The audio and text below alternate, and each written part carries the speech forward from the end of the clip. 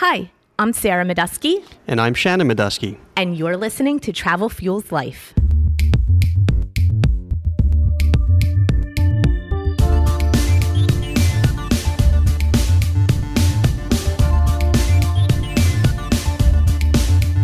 Hello, everybody, and welcome to Travel Fuels Life, the show where we share stories, tips, and inspiration to help you live a travel lifestyle.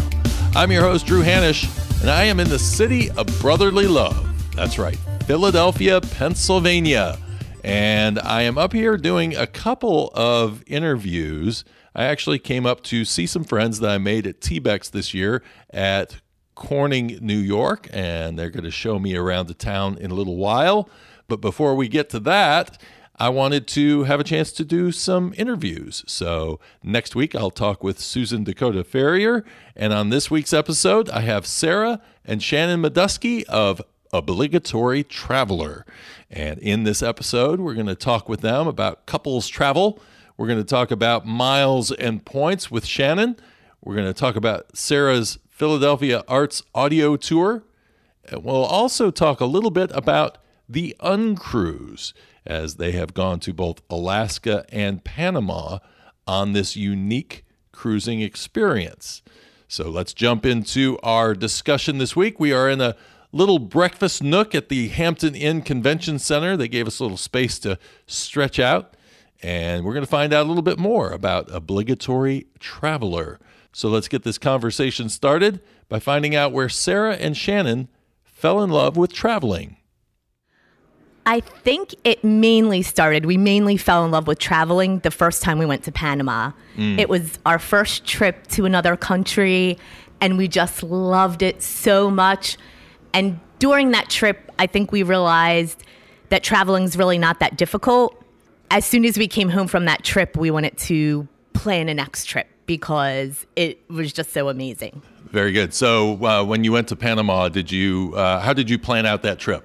Uh, was that uh, something that just happened? You were like, "Oh, Panama, that's the place I've always wanted to go. Let's let's go there." Or how did you? Uh, we knew a few friends who had gone there and said how great it was, how it wasn't very touristy, how laid back it was, and everybody's very chill and relaxed, and you can kind of go and you can get culture and you can get beach and you can get mountains. So we thought that sounds like our kind of place. ah, Yeah. So, so how long did you stay? Uh, we were there two weeks. Okay. Yeah, we did two weeks. And you and you said you uh, you rented a car while you were there. Yeah, I, I rented a car, and that was an interesting experience because I go to the uh, rental car counter, and I don't really speak that great Spanish. Right. And they didn't really speak that great English, but I guess by pointing at different things on papers and whatnot, we managed to get to the end game, and we got the car, and we were good to go. Yeah. So, but uh, that was, I guess, that was the first challenge when we uh, when we when we got into Panama. Did you think that was going to be the challenge when you were going there? You were thinking, um, uh, "I'm going to have to deal with road signs," or were you thinking, "Oh, I'm going to have to deal with No, uh, my actually, reservation"? uh, part of the uh, appeal to going to Panama is because it, it seemed like it was going to be an easy place to have your first experience abroad with. Because you know, Panama, they're, they're, the U.S. was there for a very long time, so you figured there, they a lot of people speak English. Actually, I think when we were there, they were using the U.S. dollar as their currency. So, it, you know, there was a lot of easy transition with going to Panama. So no, I, ro- I really wasn't expecting it to be all that difficult, but I also wanted to try to use some Spanish while we were there. right. yeah, that was that was the problem. I spent so much time learning Spanish. I was so excited when we went. Oh, I'm going to speak Spanish to everybody. And as soon as people saw us, they just started speaking to us in English. so I never. I, there was one restaurant where the waitress was really nice and uh, spoke to us in Spanish, and we were really excited because I think she knew. She, I somehow she sensed that they worked on their Spanish before they came, but everyone else spoke to us in English right from the start. That's so, funny. yeah. Well, uh, you, you build up this this image of how a trip is going to go in your Mm-hmm. mind before you go, and it's so funny that when you get home, you go, "Wow, that was not the image I had of this at all."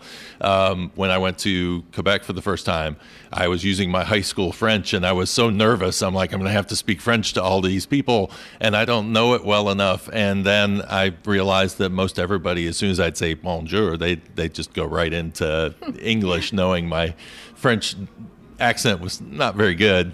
So yeah, Right. yeah. It's uh, so uh, in terms of where you progressed after that. When how long was it before you said, okay, let's go to another place, and and where did you end up going on your next trip? I think it was it mainly had to do with what we could afford next. At this was when we were still early in our marriage, so you know we were just kind of kids, uh, just out of college, paying off student loans and doing all those sorts of things. So it was was it two years later that we went to Costa Rica? Well, we did Panama in 2007, and I think it was 2010 that we did Costa Rica. So, Okay. Yeah. Yeah, that was probably the next one that uh, was a substantial trip. And you said, hey, it's right next door, so maybe it's just as uh, as as easy to get around. Well, you know, it's funny because I think one of the, the key things that we wanted to do why we chose Costa Rica, partly it, it was close by, it's affordable, you know, all those all those things ticked off boxes. But you know, I figured, well, I'd like to see a coffee plantation, and I'm sure they have. I know they have coffee plantations there, so we got to do some some interesting things that we wanted to do. Okay. So, as a couple, do you feel like the things that you want to do are kind of on the same page, or half the trip is you and half the trip is? Uh, it's some component of that. I mean, there's there's certain elements of the trip that you know Sarah's driven to do. There's certain elements of it that I'm driven to do, and then there's certain elements that we're both driven to do. So it it kind of works all the way around. I feel bad for Shannon for someday when we go to Taiwan or Hong Kong or Japan and he's going to have to go to the Hello Kitty cafe. so that's that's very high on my bucket list. Okay. That's and fine. Not I'll- very I'll high on his. but I mean, he'll it's go and be a good sport. Yeah, I'll see it. I'll Yeah. see the spectacle. Are you can Shannon? You can find something else to do, uh, right? it, no, it's fine. I'll I'll go. I'm sure there's plenty to see. yeah. If if I had a wife, I'd be dragging her around all the James Bond stuff. So it's uh, you know, you, you just kind of work it out. I think no matter what we do, you learn something. Yeah. So Yeah. even if it's not something you're completely into, it's still fun to learn about something different that you didn't know a lot about. Yeah. I don't know of, of all the travels we've done. I don't know that there's anything that kind of falls under the category of, well, we shouldn't have done that. That was terrible. I don't think we had any experiences that were No, because like even that. even if something's not so great, we find a lot of humor in that. So Yeah, that's true. usually makes for a fun story. Right. Do you feel like uh, when you're when you're traveling yet that you just kind of have to set expectations aside and just say, okay, we're going to do this, whether it's Yeah, well, actually, like one of the one of the things that we look at when we choose a destination to go to, uh, I guess it's, I, I kind of call it uh, spontaneous planning. Mm-hmm. so we try to pick a place to go to that has like a menu of things for us to do, but we don't necessarily have to commit one way or the other.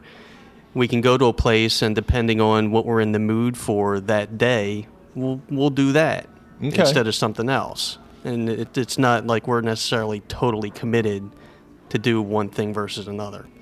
I think that's what what some people miss when they hear me say that I plan out all the places I'm going to eat, all the places that I'm going to go see, and that they go, well, I mean, that just sounds very rigid, and how is that enjoyable? And I go, well, because really what I'm doing is I'm making a list so that I don't, if I wake up one morning and I want to do th- these three things out of five, then I'll just do those three things out of five, but I don't have to think about them while I'm on the trip, or I don't have to have a bad eating experience because now I'm just hunting for something for two hours trying to find a place to eat and it ends up not being that great. So Right. that's kind of the way you guys Yeah. that- roll with it. Do do you plan your food and and all that out as well, or do you kind of just? Uh, It's a, yeah, I would say it's a little bit of both. For example, we went to New York City and I really like ice cream. So they have a place that makes these unicorn ice cream cones that look like unicorns. And I knew I had to go there. There was no question. Right. We- We're going to get unicorn ice cream cones. but sometimes it's on the fly. Thank goodness now for technology and TripAdvisor and all those sorts of sites because sometimes we'll just be somewhere and be done. Kind of like when we went to the, um, also when we were in New York City and we were just someplace and you thought, all right, well, we don't want to go all the way across town just to get a meal. So, what's in this general area that seems like it looks good and has a fairly good rating? And Yeah. so it's a little bit of both. Sometimes there's a place that I feel like I have to go to, and sometimes it's just on the fly. I was going to say I've I've been fascinated by the fact that I've talked to people who travel who say they'll take recommendations from people you know at their hotel or you know any somebody on the street says oh you need to go eat there and uh, I did that in Denver and they sent me to a steakhouse and said oh everybody goes to this steakhouse oh okay and then I went and it was like uh, I don't know. They served me my steak on a metal tray, and uh, it looked like a Waffle House kind of place, uh, you know. and I went, "Well, how did this place?" And then I looked online, and it got it was getting four stars, and I'm thinking, how is this place getting four stars? Yeah, Now, I know when we were in Alaska, when we were in Fairbanks, we had a driver that was there. We didn't rent a car. So she drove us around to a few places and she recommended a Thai restaurant. Mm-hmm. The first one she said to go to, we couldn't go to because we didn't have a car and it was far from where we were. So she said, All right, well, if you can't go there, the second runner up is this one. And we went and it was really, really good. Mm. So I thought, I have to start asking the drivers where, where we should eat at because they seem to be in the know. right. That's the fun part about traveling, though. You you definitely get to see a uh, a, a variety of things happen during your during your travels. In terms of how you where where your strengths are, in terms of um, I like to say sometimes people are right brain, more creative. Sometimes people are more left brain. Where do you guys uh, fit fit into that? I would say that I'm definitely the creative one. I've been like that ever since I was a little kid. I was always in plays and music lessons and just everything. I love anything that has to do with creativity. I love making things. So that's always really exciting, hence the blog and the photography. So I do all the creative work. I do the blogging and writing. I do uh, the video.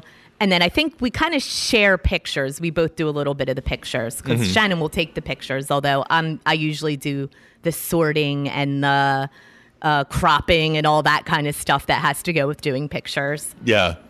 So you're not the uh, Taco Bell. Um, yeah, you haven't seen that commercial yet, I No. guess, of the uh, the, the the travel blogger who's uh, got it. Her boyfriend is uh, they call it Instagram boyfriend. Yes. Yeah. That's Yeah. That's not your lot in life. Nah, I mean I can I can do some of the photography. I do do some of that, mostly supplemental to whatever Sarah's doing. Occasionally, I will torment him, like when we went to uh, the Brooklyn Bridge, and I really wanted a picture of me jumping on the Brooklyn Bridge because I've just seen everybody else with jumping pictures. So I'm jumping up and down on the Brooklyn Bridge, and he's taking photos of fine. me. Yeah. I'll do that. I was going to say that went to a lot better place than I thought when you said jump and Brooklyn Bridge. I was like, oh, okay. Yeah, no, not that part. Yeah. I haven't seen Jumping this. on, not yes, off. Yeah. I, I, I haven't seen this picture yet.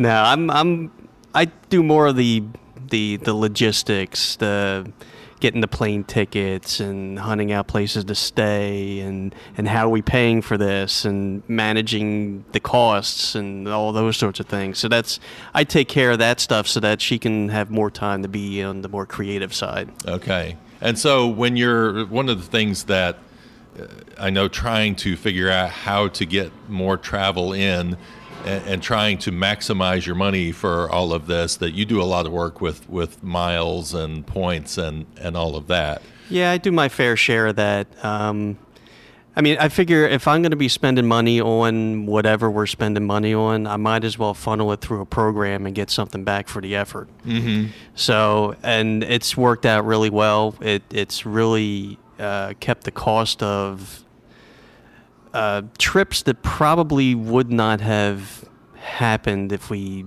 didn't have some way to supplement the cost. I mean, we got to go to to South Africa because we used points to kind of cut the cost of the airline, the airfare, which is which was substantial Mhm. for a trip like that.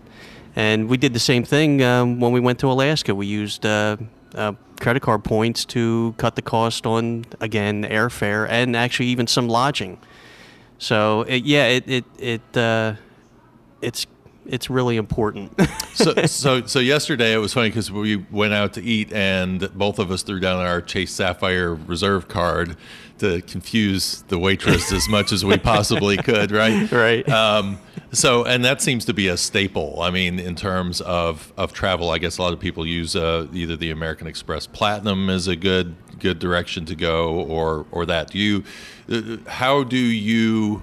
juggle credit cards. I've heard theories as in, you know, just get every single credit card you can get your hands on, even if they have, uh, you know, fees that they pay for themselves over time, or do you kind of focus on just a, a set group of cards? I find it hard to justify getting every card I can possibly get because I only have so much spending power and if you if you diffuse your spending across too many cards, you're just you're not going to be able to accumulate enough points in any one system to be able to do anything with it. So for me, it's worked out well to use Chase's Ultimate Rewards program.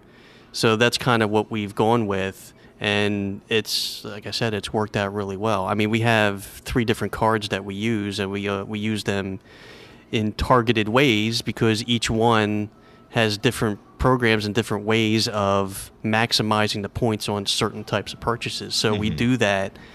And the nice thing is, is that all those cards, all those points, they're it, it- it's interconnected. So the reserve card gives you the biggest bang for your buck. They'll give you one and a half times the purchase power on your points, whereas some of the other ones only may give you one and a quarter or just one time. So when you have all these cards, if you can accumulate all the points and then transfer them over to the one that gives you the biggest bang for your buck, that's where you really make out. Okay. And you're doing uh, the other thing I found interesting is that you can sort of stack other things on top. So I use hotels.com, and you said that you not only use hotels.com, but you go one step further. Yeah, so there are websites out there that, or merchants, if you will, that sell discounted gift cards. Mm-hmm. And you know it varies because it's it's a supply and demand type of situation. There's people that, that get gift cards and they're like, well, what am I going to do with this? I have no use for it. So they have so you have these these discount gift card sites. They're like, well, give it to us. We'll give you some money for it. Obviously, it's going to be at a discounted rate, and then they resell them to others that that want it, and you get discounts on the card. So, like Hotels.com, I'll get. Uh, we actually just used this recently. Um, I bought five hundred dollars worth of gift cards of Hotels.com, and it was ten percent off. So, what's that? I saved fifty bucks. I mean, it's not a ton, but every little bit helps. Plus, you're getting your free night every every ten. So Yeah, which Yeah. I we haven't used hotels.com enough yet to get our first free night, but we're really close. I think we'll, we'll probably have it next year. I'm a gold member. Some I got this email saying you are now a gold member. I guess after you get past 30 uh, in a year, you get you get gold membership. Wow. And so That yeah, sounds fancy. yeah. I still don't know exactly what I get out of it, uh, except that I have a little gold bar across when I go to hotels.com and log in now. I feel special. Yeah. But but at least you feel like you're getting something out of. I mean, it is nice when you start planning a trip and you go, "Oh, I do have a free night. I can go ahead and use that somewhere." So yeah, it comes in handy. It definitely comes in handy. Yeah, Yeah. we're members with uh, what is it? IHG.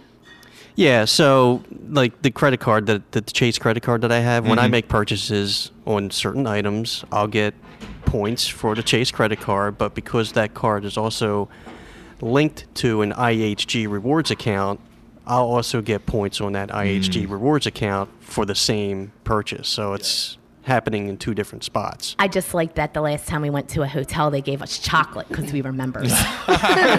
Nice. That was, that was my perk. the, the perks. well, I was going to say, are you guys luxury travelers, or do you uh, try to travel as inexpensively as you can? Are you doing hostels, or what? Where does your, where do you fit in that range? I would say we're somewhere in between.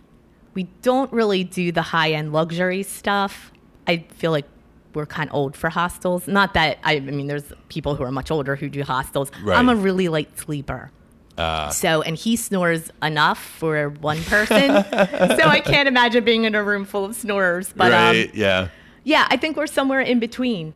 It depends. It depends on points. Um, we had a friend who had a timeshare who let us use it a few times, and the places we stayed at were beautiful and amazing, and probably places we wouldn't have paid for Right. if we had been paying for them outright. Yeah. So if we can stay somewhere super nice, we'll definitely do it, but we're not going to pay a ton of money to do it. Have you done uh, Airbnbs and gone that route, or or stuck stuck with hotels? Uh, we did an Airbnb in Belize when we stayed there. So it was a woman and she had a bunch of little apartments and it was fantastic. She was a artist um, and she was an expat from Italy and her name was Luciana, which is the perfect name for that. And she was just she was amazing and she lived there with her with her mom who was mama who only spoke Italian and she would talk to you not seeming to care whether or not you understood what she was saying she would just start talking to you. She's so passionate, you Yeah, just want yeah. to listen. and then um, there was one point where she said she was talking about someone else and said something to Luciana, and Luciana just said, Mama. And all I kept thinking was, I wish I spoke Italian so I knew what she had said because it sounded very scandalous. Oh. But that was an Airbnb, and that was great. Okay. We had the best time. While we were there, it just so happened that she had a book and art festival at the place that she owned. So that was a really neat experience. I love books. So, Yeah. yeah. So you went to uh, South Africa, and in, and I saw your pictures, and you were getting pictures with penguins. How did that work out? Oh, that was amazing. Well, it all started because I was watching House Hunters International one day, and there was an episode where they were buying a house in, in Cape Town, South Africa. And, you know, they do B roll for the show. So they were doing, they were shooting some B roll, and it was just the two ladies in the show petting a penguin. And I thought, oh my gosh, I go- my fingers couldn't Google fast enough to figure out how we could do that because we were Right. we were already planning to go. So it's at the Two Oceans Aquarium, and they have rescue penguins that they've rescued from.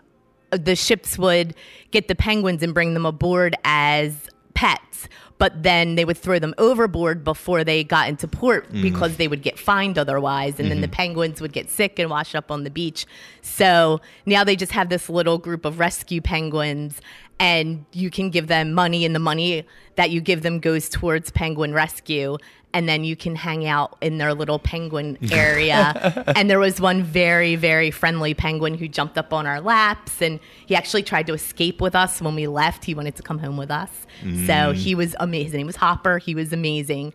So yeah, so we got to just hang out and pet him and scratch his belly and do all that. I love animals, so anything that's animal related, I- I'm all about it. Well, it, if anybody hasn't seen uh, your site yet or seen your uh, your avatar that you use for your promotion on Twitter and, and all the rest, it is a sloth. Yes. Yes. And so, where did this fascination with a sloth with an ice cream cone come from? Yeah. Well, sloths are my absolute favorite. Number one animal of all animals.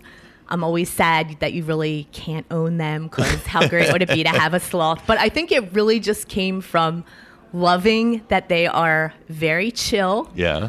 always seem happy, and are just content with whatever they're doing. And I guess that's kind of what I strive to be. Ah. So I strive to be a sloth. and you're and you're a fan of ice cream. So you Yes. okay? So you do you purposefully have to plan in an ice cream stop on every trip? Yes, that Okay. that generally tends to be. There might be one or two that we've done where the usually I try to hit at least three ice cream places per trip, if not more. Yeah. So there's been times I think where we've been places that just didn't have three ice cream places, but usually we try to get at least three in so that I can write about the ice cream and rate it and I'm going to give you a tough question then, maybe or maybe not, because maybe one just stands out. Where is the best ice cream you've had? I- I'll do two. So one would be more local in the United States, and that would be Springer's in Stone Harbor, New Jersey, mm-hmm. is my favorite. And I would say abroad so far, probably the Creamery in Cape Town, South Africa. Yeah, that's the one that first came to my mind. yeah, Really? Yeah, Yep, yeah, that's the yeah, one. The Creamery was That one just Really good. stood out. It's it's the yeah. best peanut butter ice cream I've ever had. So, uh, what makes a good ice cream for you? I like really creamy ice cream, so I'm not as big on the really icy Yeah. um, ice cream. Yeah, I like it when it's really creamy, and I think a good balance of flavor because sometimes you just get the milk flavor and you don't get whatever flavor the ice cream actually is. yeah. But sometimes, occasionally, you can get one that's just way over the top with the flavor, so you don't really get any ice cream taste. It's just whatever flavor that ice cream is. So, do you consider soft serve slumming it? no, no, no, no. Soft serve is soft serve. It- Yeah. it- That's not ice cream. Yeah. Oh, okay. Okay. We'll, we'll get it. It's not. It's not my go-to. Right. But if it if it fits within the context, like when we got the unicorn ice cream, that's soft serve. So that's Okay. what you're getting. So you're are you like me with coffee where it can be 120 degrees outside and I still have to have my coffee? Are you if it's freezing cold outside, you're in Alaska, you you still having the ice cream? Yes. Okay. Yeah. Yeah. You oh, are for sure. You yeah. are committed. Yeah. I mean, once you're usually if you're in an ice cream place, once you're inside, you don't know as much anyway. So Yeah. so you actually went on uh, when you went to Panama, you went on an uncruise. the that- the second time we went to Panama and Costa Rica, we went we went with the uncruise uh, adventures. Okay, so and then you went to Alaska also on Yes. an uncruise. Okay, so explain to people who don't understand what an uncruise is. What what's the difference between doing that and jumping on Carnival or Princess and doing a, a cruise that way? Uncruise is a small ship cruise company. So they only have a certain limitation of guests that are on there. I think when we did Alaska, it was about 60. Uh, no, that one had, well, not much more. I think it had a capacity for like 70. Yeah. So there's not a ton of people. They were very committed to adventure cruising mm-hmm. and nature and learning about stuff. So when we did Alaska, we went bushwhacking. That was amazing. One of my most fun activities of anything I think we've done. We did a lot of yeah, we did a lot of kayaking and just hanging out in nature.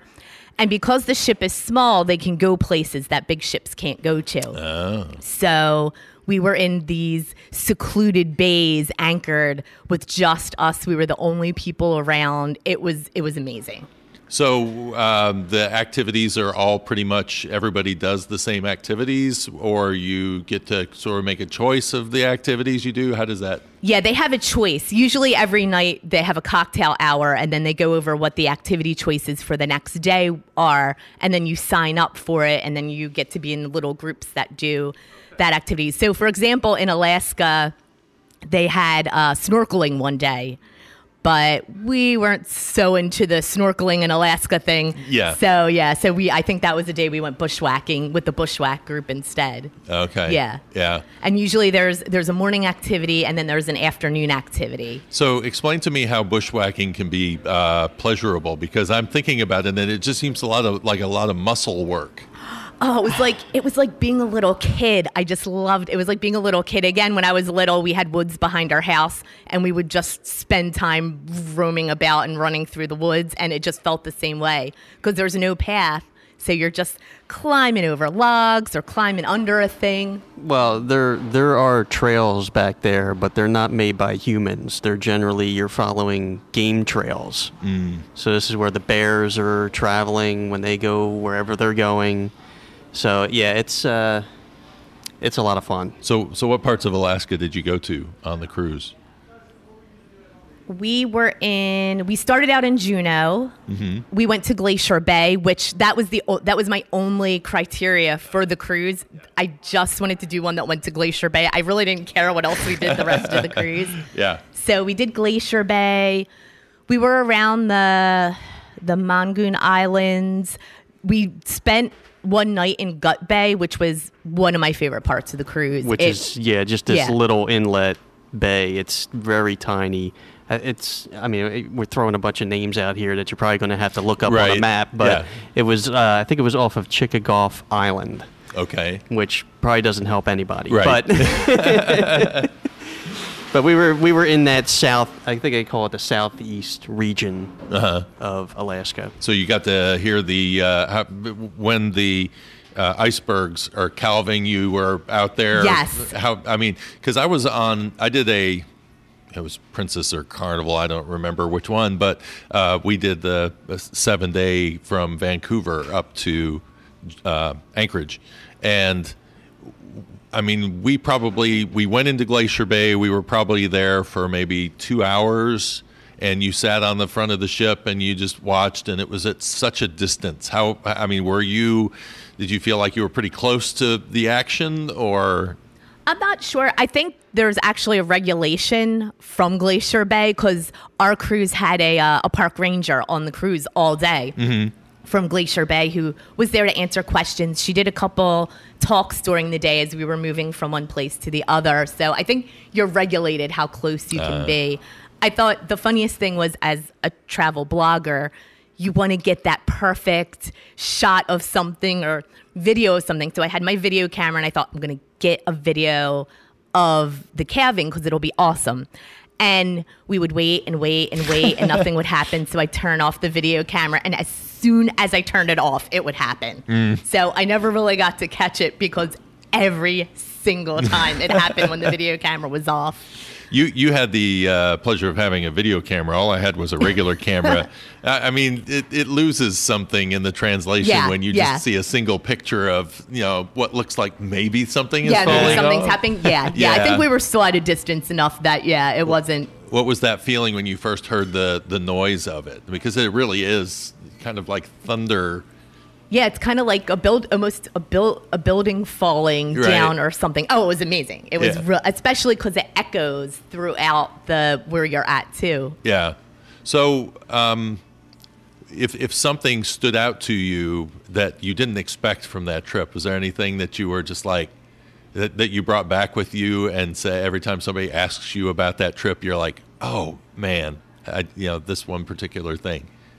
I would say probably part. Well, part of it was that we actually did get to see Denali when we went, so we ah. were very fortunate. The weather was great. Right.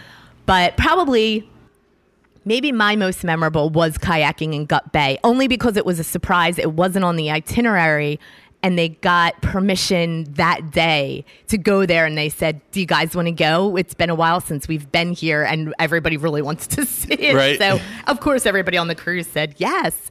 And then they surprised us further by saying, okay, good. So we're going to go there. What we're going to do is we're going to drop anchor. And then after dinner, if you guys want to go kayaking and just take the kayaks around, go ahead. Uh, Kayaks are available for everybody. So we got to hop in the kayak, and it was just so quiet and so peaceful. I don't think I've ever experienced anything that was so just quiet and still and peaceful as you almost felt bad putting the paddles in the water and making noise because you're kind of disrupting the silence that was there. Yeah. I when I went into I, I don't know if you experienced this or not. When I went to Juneau, um, there were flocks of eagles, and I had never. I mean, I've only ever seen one eagle uh, on its own, but all we saw when we got in there were just eagles everywhere and ravens. And Yep. I don't. I'm not used to seeing ravens either because they're much more of a West Coast bird than they are. So it's it's it's really amazing. So when you went to uh, Alaska, did you just do the uncruise, or did you also tack some time on for yourselves? We did the uncruise. The uncruise ended in Sitka, so we we spent an extra day in Sitka because now we have our national passport book, and we like we like quests. so now we Ah. have so now we have a quest to get the stamps for the national parks. Right. So and Sitka is a national park. So so we stayed there for a day. We did Fairbanks for a day, but that was mainly just a hopping off point because we did the we took the train Yeah. to Denali, did Denali took the train from Denali to Anchorage and then spent a few days in Anchorage. A friend who I went to high school with lives in Anchorage, so mm. I wanted to meet up with her and spend some time. Right. I when I went to Denali, they said, um, getting back to your thing about seeing the mountain, um, and the reason you can't see it is because most of the time it's just covered in clouds. But I was told when we went in that most of the time you're either going to see a wolf or you'll see Denali. One or the other will happen, but that's all you're going to get. You won't get both. So while we were riding the bus out, we saw a wolf, and I went, that was cool seeing the wolf, but now I know I'm not going to get to see Denali. Well, that still holds because we didn't see any wolves. Yeah. you didn't see any wolves? Okay. What was funny about Denali though was our driver that day for the bus in Denali was his name was Mike and he talked like Batman and I kid you not he's when he talked he sounded like Batman and he uh, kept stopping every so often and just telling us take more pictures take more pictures you're not going to see it like this ever again you guys don't know how lucky you are keep taking pictures of it so we probably have Yeah, we have tons.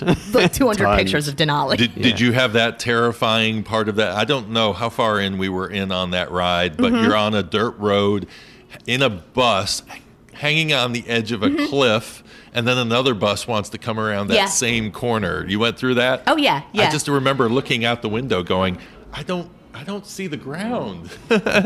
yeah, it's it's it's you're pretty high up. You're right, it, and it's a it's a skinny road yeah, that's almost going along a vertical cliff. yeah.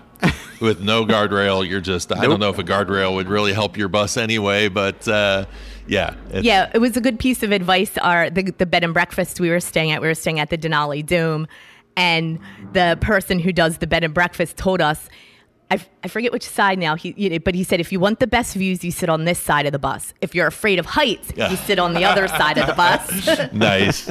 Yeah, that's me. I, I was on a horse one time uh, going up through uh, the Smoky Mountains, and um, nobody told me that the horses like to walk as close to the edge as possible. And I'm on this whole ride going. Uh, I'm not comfortable being on a horse in the first place, but this horse seems to really like being on the edge of this uh, on this cliff. So yeah, that sounds terrifying. Yeah. There's not a wall between you even. no, it's just like, and, and honestly, on driving some back roads in Europe, when the roads get really thin, I'm like hugging the you know Right, the opposite inside. side. Yeah. because I'm like, "Nah." Just- there's there's a, there's a certain comfort level, and I'm not at it right now.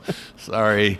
So, um, so what are you doing now in terms of uh, of, of what you're doing work wise with all of this um, traveling that you're doing? Is it uh, uh, are you you're doing a blog?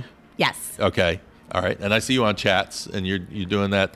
Yeah, I love well. I love that part, but I mainly love that part because I just love talking to other travelers. Right. when you don't have a lot of travel people surrounding you in your regular everyday Right. life, you sort of crave you need someone to understand you Yeah, and yeah. what you how your mind works every day and how you're always kind of just focused on the next trip and what you're doing and Yeah. and I just love seeing other people's travels too. I'm always just as excited about other people and what they're Mm. doing as I am on what I'm doing.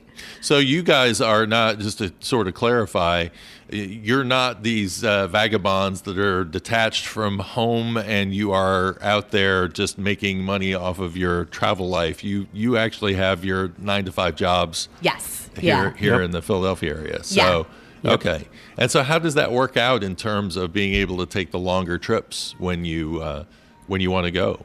Well, I've been at my job forever now. So I get a pretty good amount of time off just because I've been there for a long time and I commun- or accumulate time as it goes on. Yeah, and- and I'm just fortunate to work for an employer that uh, is very flexible and uh, you know they have the right mindset. They're they're concerned with me getting the work done. They don't really care how and the timetable. So it gives me the flexibility to slide my schedule around. Uh, so do you work on the road at all, or do you or you you just set off time as vacation time? I set off time for vacation time. Okay. But, you know, if we want to do like extended weekend trips, I can like bunch hours and other days so I can have off like a Friday and a Monday, Right. and get like an extended weekend, and it's not a big deal. Yeah. So yeah, and I also negotiated a decent amount of vacation time when I came to the place I was at too. So everything worked out to to make it happen. So I guess yeah, fortunate. Part part of it is part of it is asking, right? I think a lot of people are nervous about actually asking the boss if they could shift their lifestyle and and that the company wouldn't get frustrated by that or that they might put their job in jeopardy by, you know, Right. requesting something like that. Yeah, I mean they have certain goals that they want to meet, and you know I, they hired me to help meet those goals. So there's it, it's a it's a balance. Yeah. So as long as we're both on the same page, it's it, it's all good. Yeah. Good. All right. So you're also, um, and and it's funny because uh, I feel I talk sometimes like there's a video camera in, and people can see that I've shifted over and looked at at, at another person. Um, but Sarah, in terms of um, uh, you've you've actually done a program for your uh, local area, Philadelphia. You're you're doing a uh, a little guided tour. So I hear. Yeah, I did an audio tour with a company called VoiceMap. It's a app that you can download on your phone, and then they have GPS triggered audio tours. So mm-hmm. you can go on there and look at audio tours from all around the world. Before we went to Cape Town, I actually downloaded a bunch and listened to them before we went. So I knew all the interesting things I might want to see when we go there. Mm-hmm. But I ended up doing one for Philadelphia. So it's called Art and Controversy in Philadelphia. They're more of a storytelling app. So they want you to tell the story of something. So I go from, um, I start at Logan Square and then I go around the art district area and tell different stories about art controversies that have happened in Philadelphia. And there's a lot more than you think there would be. Right. Yeah. Yeah. Uh, so uh, we were talking last night about the Barnes Foundation. yes. That's my favorite one. Okay. So, just a little insight on kind of a teaser on that. What? Uh, oh, that that was uh, a man who was quite the character, but had a big love for art and had his own private collection of some of the best pieces of art in the world. And he kept them in his mansion. And if you were a plumber and you wanted to come and see his collection, you could write a letter to him and he would allow you to come. But he was very against the sort of hoity toity art community of Philadelphia. So anybody that was like that who wanted to come see his collection, he would deny them. They were never allowed to see these amazing pieces of art. And he wanted to keep it that way. He wrote it in his will and everything. And then he unfortunately passed away uh, in a car crash. And slowly over time, politics took over because he had a board of directors and certain people positioned themselves on the board of directors in a way that they sort of said, oh, the building that it's in, the mansion, it's in disrepair. And wouldn't it be great if we built a brand new fancy museum and put his collection in that? that and everybody could come and see it now. And it was everything that was originally in his will explicitly against all of his wishes. So yeah, so it's a museum. It's really nice. I've heard, but Yeah. we've had we haven't been there. so, so how many different places do you uh, do you hit in that area? Oh, I'm you say? trying. I'm trying to think. I'm not sure. There's quite. There's quite a few. It's about a. I would say it's about a half hour to 40 minute tour as Okay. you walk along. So I also I go into the Rocky statue, and all, there's a lot of controversy Ah. behind that, and there's still people who hate that it's in front of the art museum, and some people who are still really angry that it's not at the top of the steps. I was going like to say because it was. So did it start out at the top of the steps and then move to the side, or did it start out somewhere else, then move to the top of the steps, then somewhere else? It started at the top of the steps because originally it was given as a gift to the city, and some people thought, "How amazing!" But the art museum thought, "N- "No, it's not. It's not art. It's a prop from a from a film. Okay. So it doesn't count as art." How is a sculpture not? Yeah, they they didn't ca- they didn't count it as as art at all. Okay. So they so there was a lot of petitioning to have it moved and they did they moved it to the stadium area for a really long time and people hated it and demanded that it be back at the So they, Art museum. Because they could have said, yes, but he was a fictional Yeah. athlete. He wasn't a real athlete. Yeah, so yeah. why is he in front of an of a athletic facility? yeah yeah exactly so everyone was upset so i forget when they when they did one of the sequel movies, they had moved it to the art museum at that point and made a compromise so it's not at the top of the steps anymore. It's it's, it's on the ground and off to the side, but they built a nice little area for Rocky now. I, I, have to say, I actually went over there today, and, and I didn't get a picture taken because uh, I was by by myself. Yeah. I just wanted to actually take a picture of it because I last time I was in Philadelphia, uh, I had an interesting experience uh, at the Rocky statue because I walked up as a as a solo, and this guy came up to me and he says, "I'm trying to get back to New Orleans." And I need to uh, make some money. So I'll take a picture of you if you'll give me, well, I was in the midst of my living a James Bond lifestyle thing, so I had a money clip with my with my money in it, and I, he asked for five. He said, "For five bucks, I'll take your picture."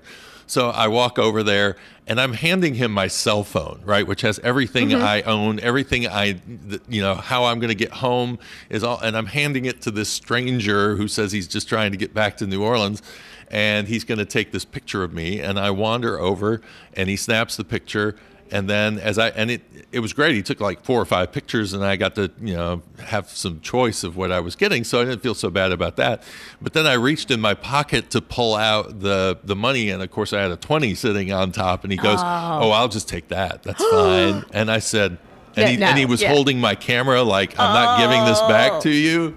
Yeah, I said, okay, this really wasn't yeah, what I yeah. wanted to go through. So, but uh, but I said, look, we we negotiated five. That's what you're getting. Yeah. So yeah. yeah. Wow. but today I was over there playing with the little filter on the. Um, you know they now have the like portrait mode. Yeah. So I was trying to get a picture of him sharp with the with it you kind of blurred off in the distance with the museum, the, the in, museum the in, the background. Yeah. Yeah. Yeah. yeah. Like, I've, tried that too. yeah. I'm telling the story here with my. Probably one of my best days. Sometimes when I don't have anything to do, I just like to sit at the top of the steps and watch people run up because mm-hmm. it's great. People sing, they hum, they'll have the music playing off of their phones while they run up. The one girl, the one day cracked me up because she's just going so slow, and her boyfriend says, You have to run, you have to run. And she's yelling, I am running. But the best was an older guy who ran up and he was dressed head to toe like Rocky, mm. just in the complete exact outfit. And it gets to the top of the steps and he's doing punches and the more people are surrounding him and excited and taking photos the more he's showing off. It was i think he's having the day of his life. I have to admit in march when i came here i had my camera out and i was videoing uh-huh. as i was running up just showing the stairs yeah here yeah you're you're now in Rocky's shoes, except I'm a little slower. Yeah, yeah. I'm not wearing sweatpants. Yeah. Right, but a little little different.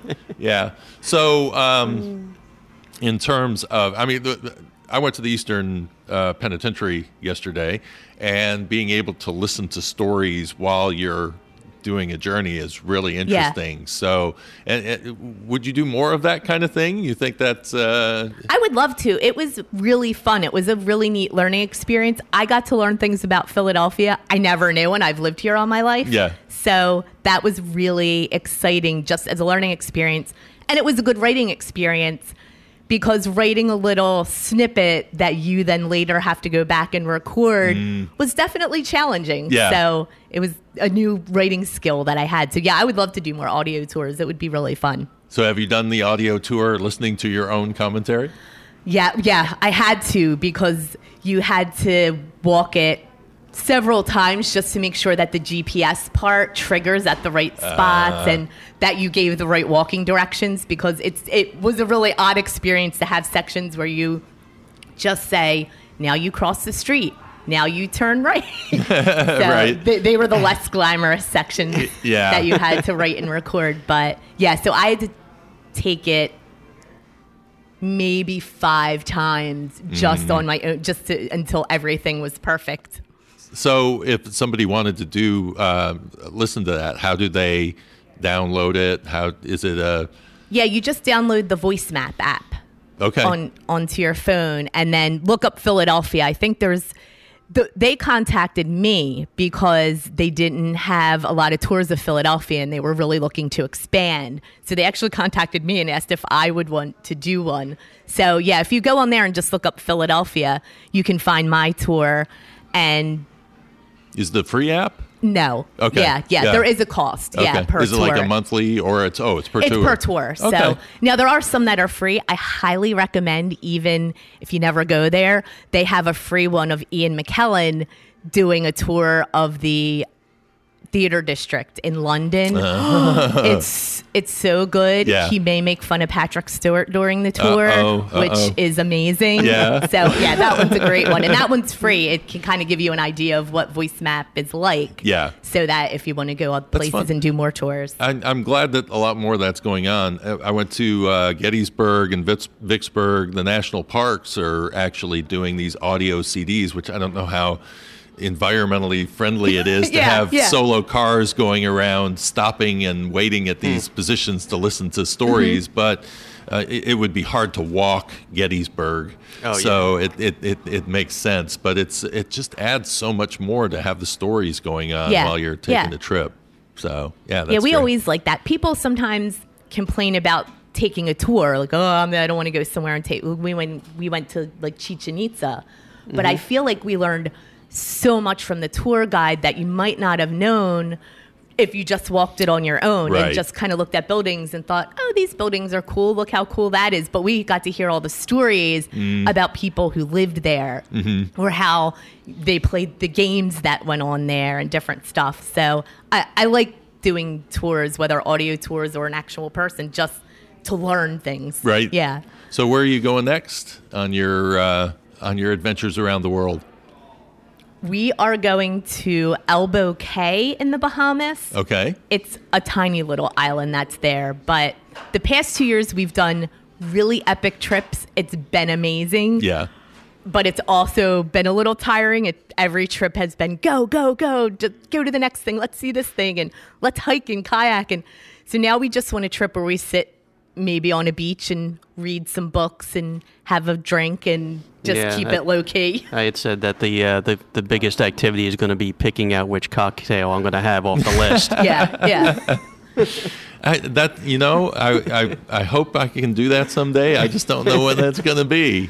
I just I, it's hard hard to downshift. So it'll be interesting to hear if it's uh if it's easy for you to to relax during that week, or if you'll be like, "Ah, maybe we should be going somewhere. Maybe we should be going somewhere. It's But- only four days, so yeah, yeah, Yeah. But you're on an island, so it's Yeah. not like you really can go somewhere. And it's a tiny island. Yeah, you, you could walk it. Yeah. Yeah, yeah. Nice. So, uh, if if people want to get in touch with you, see the stuff that you're doing and, and what's coming up, what's what's the best way for somebody to tap into what Sarah and Shannon are doing? My website is obligatorytraveler.com. And I'm on all the social medias. I have a YouTube channel, but that was mainly to supplement what I do on the blog. Sometimes there's things you can write about, but it's easier just to show a video of it. Right. So I'm on YouTube, Obligatraveler on Twitter, and then Sarah H. Miduski on Instagram. Okay. Yep. So you haven't gone into that whole let me get every single social network exactly the same. Uh, No, well, I had my Instagram before I started the, uh, if you want to say, the obligatory traveler brand. Right. So I had it when I still had my old travel blog, and I, I just ended up keeping. I, I ended up changing mine. Yeah. So I just changed the nickname on it and yeah, that's what I did too. and yeah. that works yeah and uh, it was a little hair raising actually at first because uh, in in coming up with my name i changed it like three times and so as i was changing it each time i was going oh i hope i'm not hitting some kind of limit Yeah. here where i won't be able to do it but uh, Yeah. Yeah. On Instagram, you can look it up either way. Yeah. So either by my actual name or by obligatory traveler. okay and where did that name come from That's a story. Okay. So when I started when I started my original blog, I started I was in a, I'm in a writers group, South Jersey Writers. It's an amazing writers group. And at the time there was a time when they encourage everybody to have a blog because it helps you to keep consistent writing practice. So it started out as just a nicheless blog where I'd write about anything. And as sort of a joke, I called it the obligatory blog because everybody has their blog, and now it's my Ah, obligatory okay. blog. Okay. And then as I went on, I learned that people seemed to enjoy when I wrote about traveling or restaurants or just doing a fun activity in Philadelphia. Those were the blogs everybody liked to read. And then as time went on, I realized wait, a lot of people are reading this that aren't just my friends and family. So when I made the decision to switch over to doing a more professional website and actually having a brand, and everybody already knew me for obligatory blog. So I tried to figure out a way to push it over into a brand name. So I went with obligatory traveler. Okay. Yeah. Very nice. Well, it works. Yeah, it Yeah. does. Yeah. All right, excellent. Well, um, I'll post on the show notes page, and uh, it's it'll be at travelfuelslife.com. The lights are coming out. If, if everybody's heard racket, it's because we're actually at a Hampton Inn in the breakfast area, and it's middle of the afternoon. But there's a little rustling going on. The bar is about to open, so we'll we'll have to go grab some cocktails. I, Yeah, right. we did this all without the uh, enhancement of alcohol. So th- th- Yeah. there you go. I did have a donut at Beiler's before we came, Uh. just to sugar up a little. we we went hunting cheesesteaks, but uh, didn't didn't have too much luck on, Oh, on that. no. Well, everything was busy. Reading Terminal is just uh, Yeah, it was chaotic. Oh, Yeah, Yeah, especially with the Army Navy uh, thing Oh. going on this weekend. So yeah, pretty crazy. So well, fantastic. Well, I thank you guys for uh, joining in and uh, giving us a little bit of background and kind of giving us a. Uh, feel for how some couples travel, and uh, I'm sure everybody has a different experience. We're all different personalities, so uh, but it's it's very interesting to see the the right brain, left brain, you know, and and how that can kind of uh, be- be a benefit where I have to do all that stuff myself, and it it can be a challenge. I can't do both. Yeah. Great. Yeah, it's nice having someone else do the logistics. Yeah, absolutely. It's also nice having someone else do the writing. Yeah. well, and you don't have to be like me where I take pictures everywhere because I feel like I have to share them out because I don't have anybody with me to reminisce about my trips. So, you know, it's kind of like, yeah, sometimes you're, you're on the road going, "Uh, it'd be nice if I had, you know, somebody that was going, wow, with me at the yeah. same time I'm going, wow. So, yeah, completely different, different uh, way of traveling. So, well, thank you very much, and um, good luck with everything down the road, and enjoy the Bahamas. I hope it. Uh, I hope you get some relaxation in there. Oh, thank you. Thanks for having us on. Yeah, it was great. Thanks.